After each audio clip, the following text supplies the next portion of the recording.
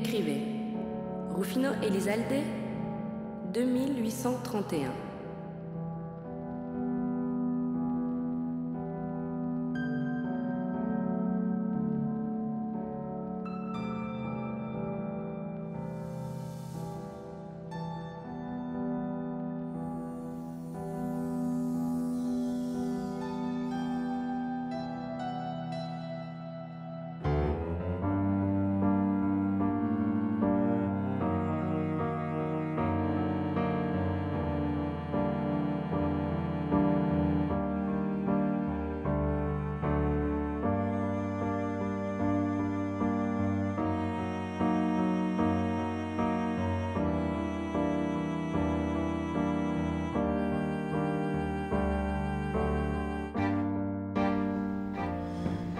Esta mujer conoció a todos y estuvo en todas partes, ¿no?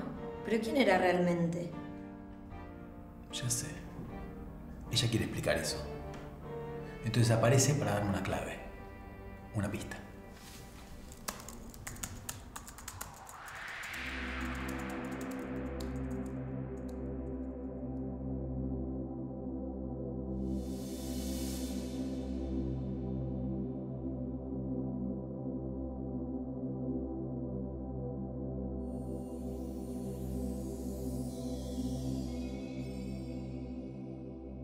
Ramona Victoria Epifanía Rufina Ocampo nace el 7 de abril de 1890. Es hija de Manuel Ocampo y de Ramona Máxima Aguirre, ambos provenientes de familias de clase alta. Victoria es la primera de seis hermanas mujeres. Las niñas Ocampo son criadas como princesas en una familia socialmente poderosa que posee una gran fortuna. En 1896, la familia se traslada a Europa. Entre su equipaje también viajan dos vacas, que proveen leche fresca para las niñas. Su educación está a cargo de institutrices que enseñan en inglés y en francés. En París, Victoria se familiariza con el idioma de tal modo que le resultará más natural que el propio castellano. Toma clases de piano y comienza a indagar en el terreno de la escritura, al principio como un juego. La intensa correspondencia que inicia por estos años representa un gran desahogo para su espíritu rebelde. Mantendrá esta actividad a lo largo de toda su vida.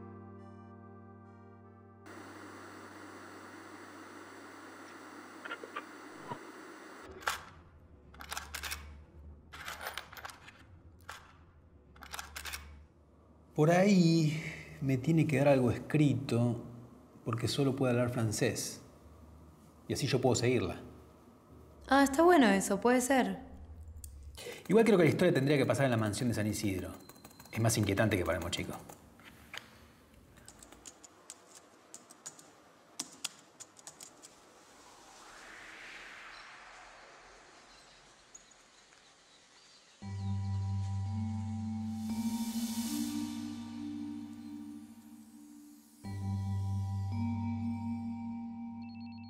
En 1908, Victoria concurre a la Sorbona, universidad parisina de gran prestigio, y se codea con la élite intelectual y artística de esa ciudad.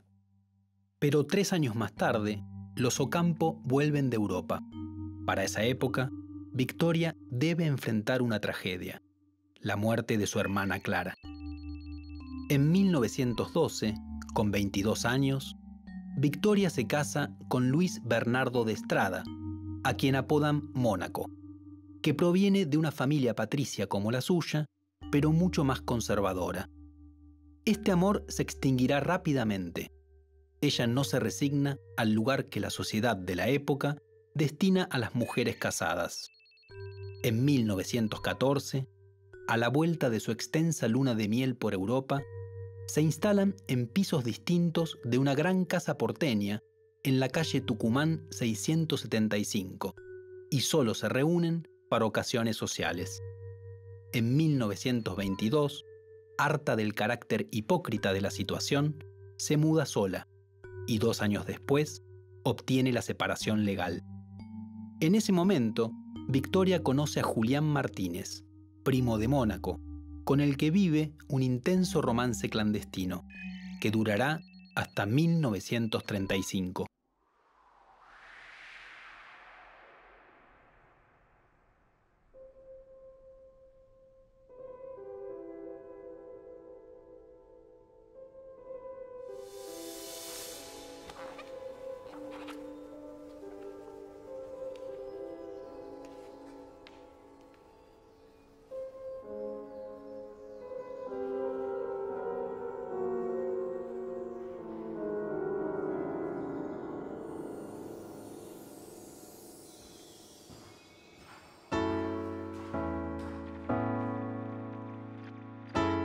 En 1924 llega a Buenos Aires Rabindranath Tagore, poeta bengalí, ganador del Premio Nobel de Literatura en 1913. Victoria lo hospeda en la quinta Miral Río, a pocos metros de Villa Ocampo, donde ella se muda para estar cerca suyo. Se ocupa de él incansablemente, hasta que Tagore parte un año después. A partir de la segunda mitad de los años 20, Victoria se apasiona por la arquitectura moderna. Consecuencia de ello es su casa de Palermo. La primera vivienda racionalista de Buenos Aires es construida por Alejandro Bustillo, siguiendo los lineamientos del arquitecto suizo-francés Le Corbusier, padre del movimiento moderno de arquitectura. En estos años, sus viajes a París se hacen constantes y Victoria se empapa de ese paraíso cultural que es la ciudad luz entre los 20 y los 30.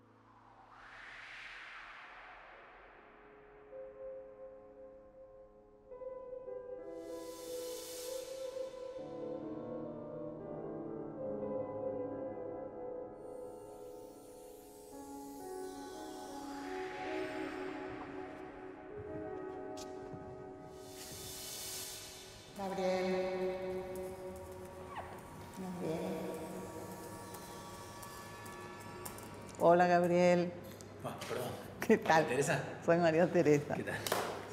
¿Cómo Mucho te gusto. va? ¿Qué tal? Bien, acá estamos. Bueno, gracias por venir. No, por favor. En 1931, Ocampo funda Sur, una revista literaria que será central en la vida cultural argentina. En ella colaborarán muchos de los escritores más importantes del siglo, Jorge Luis Borges, Eduardo Mallea, Pedro Enríquez Ureña, Ernesto Sábato, José Bianco y Enrique Pezzoni, entre otros.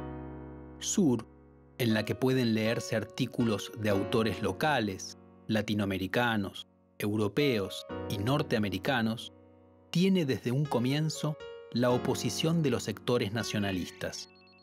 En 1933, el proyecto se convierte también en una editorial que traducirá y publicará lo más selecto de la producción literaria de la época.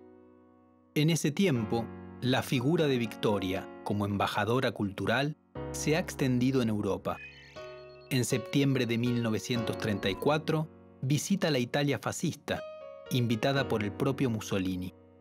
En los meses siguientes, tiene una serie de encuentros con personajes muy conocidos. Se reúne en Zúrich con el médico psiquiatra Carl Jung para pedirle los derechos de su libro Tipos Psicológicos. De allí viaja a Londres, donde el escritor Aldous Huxley la invita a una exposición del artista Man Ray. Ahí conocerá a su admiradísima escritora Virginia Woolf. También en Londres se contactará con el músico Igor Stravinsky, a quien llevará, un año después, al Teatro Colón de Buenos Aires.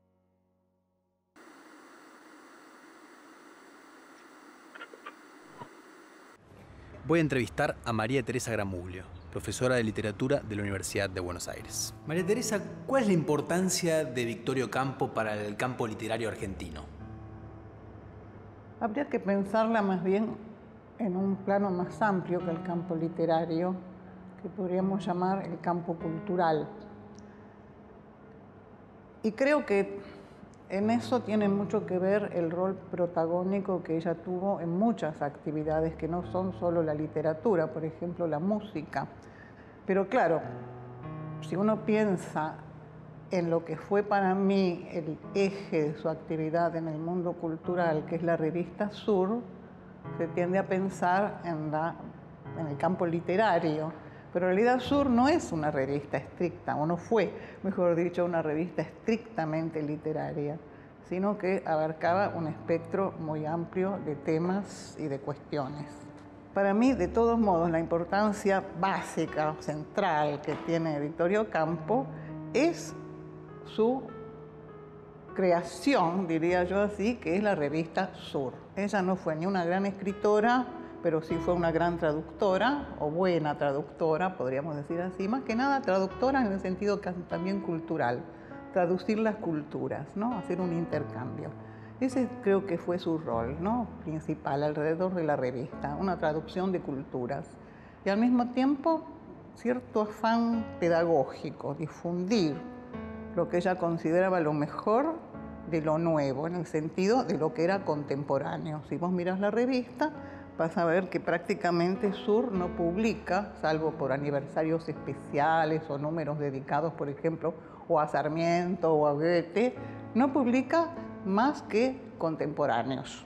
Sur, si bien por un lado es la obra de Victoria Ocampo y su existencia se debe a la presencia de ella, a la constancia de ella, al dinero de ella y a la tenacidad con que sostuvo esa empresa, es un producto de grupo, lo que se llama de un grupo cultural. Bueno, muchísimas gracias. ¿Ya está? Ya está.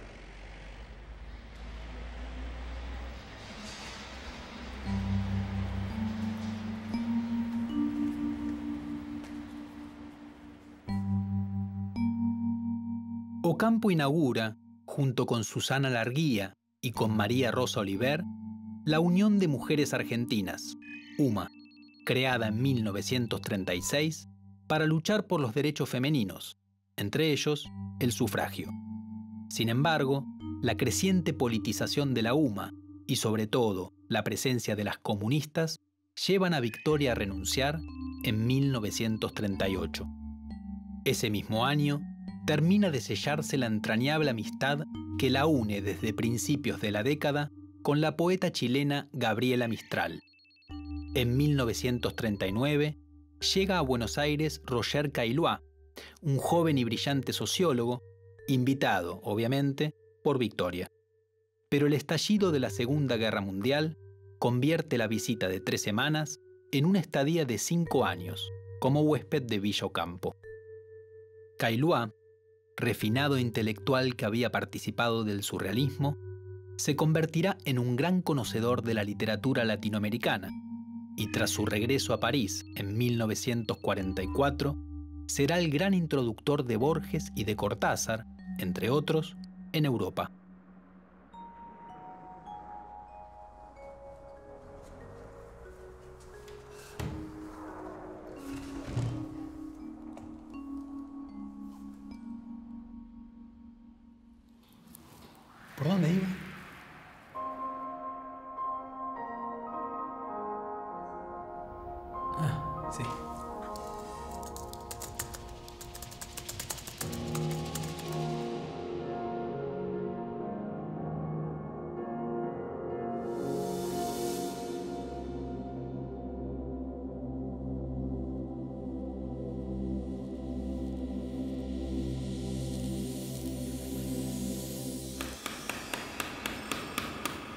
Ay, perdón. ¿Seguís con el guion de campo? Sí. Pero no sé dónde me está llevando. ¿La historia?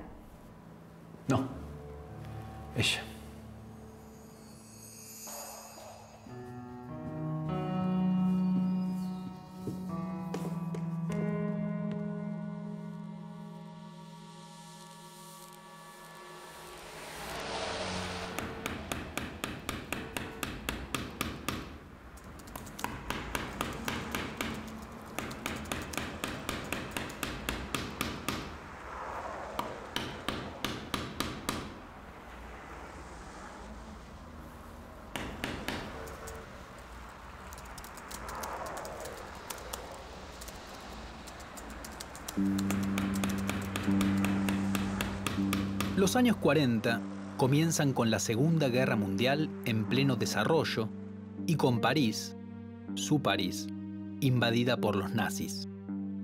Victoria da apoyo espiritual y material a los comités de solidaridad, como lo ha hecho antes con los republicanos españoles. Al mismo tiempo, con una fina percepción de cómo irá a quedar el mapa cultural de Occidente después de la guerra, empieza a viajar a Nueva York. En Argentina también se viven días agitados. A Victoria le caen mal los militares que en 1943 se han hecho con el gobierno. Ya en 1944 se lanza directamente a la actividad opositora y participa de los festejos callejeros por la liberación de París. La llegada del peronismo al poder, en 1946, aumenta su enojo. Victoria aborrece a Perón. Le parece un líder demagogo, brutal y antidemocrático.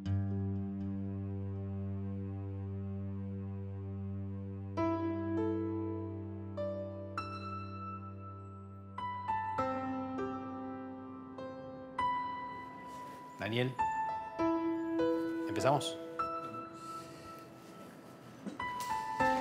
Bueno, te pregunto sobre Victorio Campo entonces.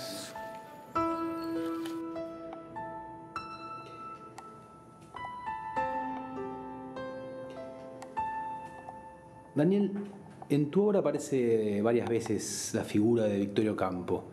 ¿Por qué y qué representa para vos?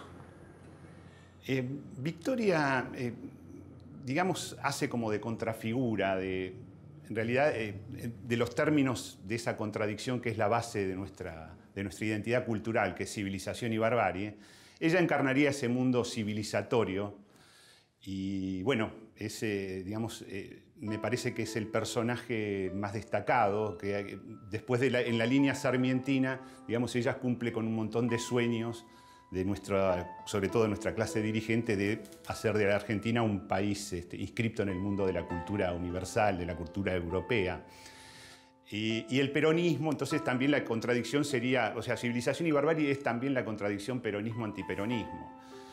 Y entonces el peronismo para ella sería precisamente el mensaje de la, de la barbarie. Yo creo personalmente que el, el, peronismo funciona como una especie de interfaz entre la civilización y la barbarie. O sea, el peronismo funciona como mensajero de la barbarie y también como agente civilizador. ¿no? Recordemos que el peronismo, como nadie, creó escuelas y, y facilitó el ascenso social también. Entonces, ahí en el peronismo hay una especie de, de crisis Incluso paradójicamente, eh, el peronismo provoca una crisis de esa misma consigna que parece tan clara. Y, este, y, entonces, bueno, la, la, figura de Victoria Ocampo nosotros la tenemos, este, eh, digamos, como, como, víctima y victimario al mismo tiempo. Eh, incluso su, su, lugar en la historia también eh, está en ese, en ese rango, ¿no? Ella también fue, de cierto modo, víctima de algunas persecuciones, de alguna represión durante el gobierno peronista, pero también fue victimaria. O sea, ella también avaló, siendo funcionaria en el 55, avaló el decreto 4161, por ejemplo. Uno de los decretos más absurdos de la historia de la legislación mundial, podríamos decir. ¿no? Habría que recordar que en ese decreto, por decir justicialismo, uno podría ir preso. En ese sentido, ella también es represora de un mundo al que, al que se negaba a pertenecer. Siempre la lucha es si la Argentina va a ser arrastrada al mundo latinoamericano o si la Argentina pertenece al mundo de la cultura europea. Y entonces está siempre pendiente esa, resolución que no termina de suceder nunca. Entonces nosotros estamos condenados a ser también un país latinoamericano, pero nuestro, nuestro estándar, digamos, nuestro, eh, eh, nuestra élite cultural eh, no vea eso como conveniente. Y yo creo que Victoria un poco encarna eso, ¿no? Encarna esa idea de que, bueno, a, a, a este, este, lugar es, una, es un desierto y nosotros venimos a civilizarlo. Clarísimo. Bueno. Muchas gracias.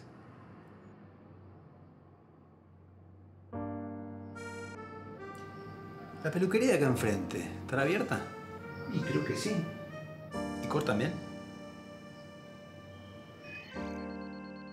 En 1950, en la sede de la Sociedad Argentina de Escritores, que funciona en la que había sido la casa de su madre, en la calle México al 500, Ocampo recibe de manos de Borges el gran premio de honor de esa institución.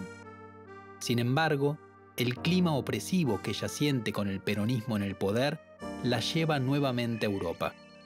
En 1952, y a pesar de las recomendaciones de sus amigos, regresa a Buenos Aires y empieza a redactar su autobiografía, con la expresa decisión de que sea publicada luego de su muerte.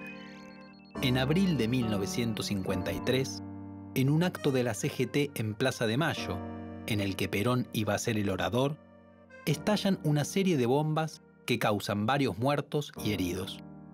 Victoria es acusada de conspiración y un mes más tarde la detienen en la cárcel del Buen Pastor, en la que pasa 26 días. Tras el golpe de Estado de 1955, que ella celebra, Victoria regresa al centro de la escena como presidenta del recientemente creado Fondo Nacional de las Artes.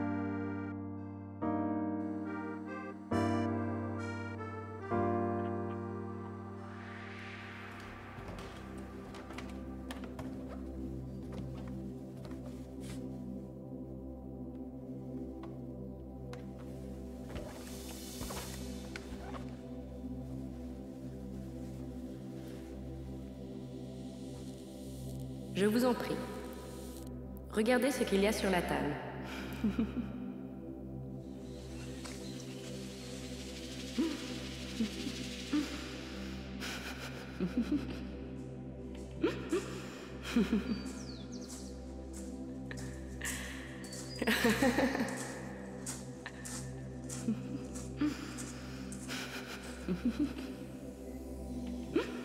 No estoy muy convencido de que todo sea un chiste. Y nada más.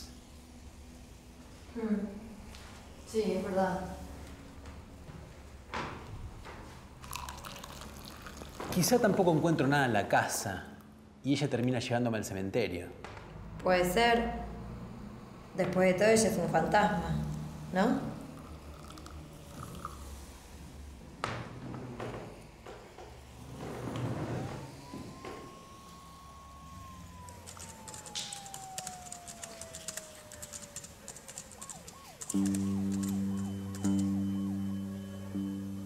La década de los 60 se abre con una inmensa alegría para Victoria.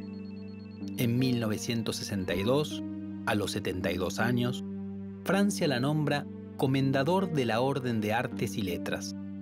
Sin embargo, el clima cultural latinoamericano gira hacia la izquierda y Sur comienza a sufrir críticas por sus posicionamientos ideológicos. Aunque Victoria siempre sostiene que su pretensión se basa en publicar buena literatura y buena crítica en una revista apolítica. En 1965, junto a Borges, recibe la Orden de Comendador del Imperio Británico. En 1966, es nombrada miembro de la Academia de Roma y un año más tarde se la premia con el doctorado honoris causa en la Universidad de Harvard. Sin embargo, estos honores se ensombrecen ante la enfermedad. En 1964 ha debido operarse de un cáncer en la boca. Los años 70 la encuentran mal de salud. En 1971, Sur publica un especial sobre la mujer y deja de salir regularmente. Dos años más tarde, Victoria renuncia al Fondo Nacional de las Artes y dona a Villa Ocampo y Villa Victoria, en Mar del Plata, a la UNESCO. El último gran reconocimiento es de la Sociedad Argentina de Escritores en 1977. Tiene 87 años. Pero su vida se apaga. El 27 de enero de 1979, de mañana y en Villocampo, Victoria muere.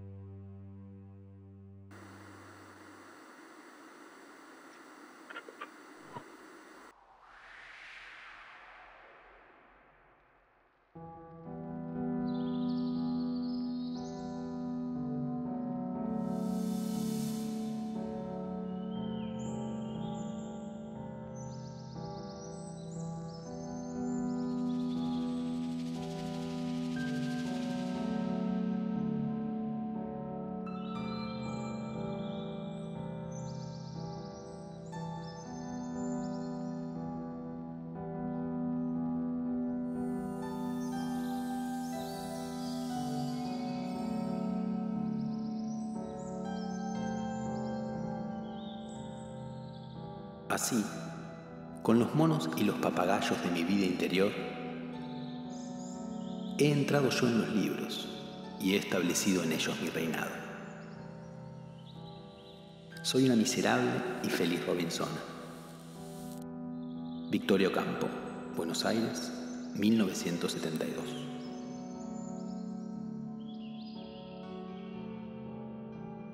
Decía que sus acciones culturales eran apolíticas, pero intentar definir, como hizo, qué es la cultura argentina, qué queda dentro y qué queda afuera, es una tarea profundamente política.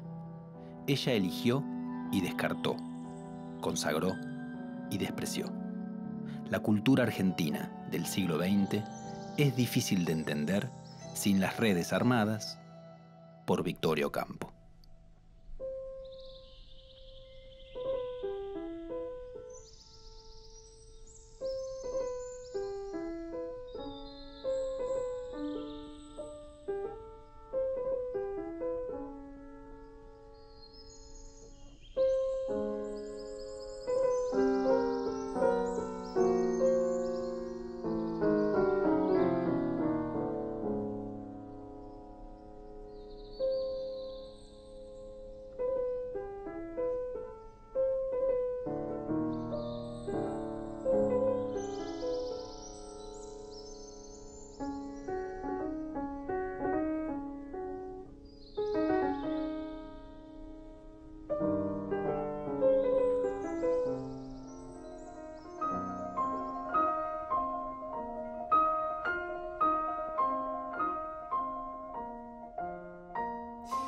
Bueno, final de la jornada.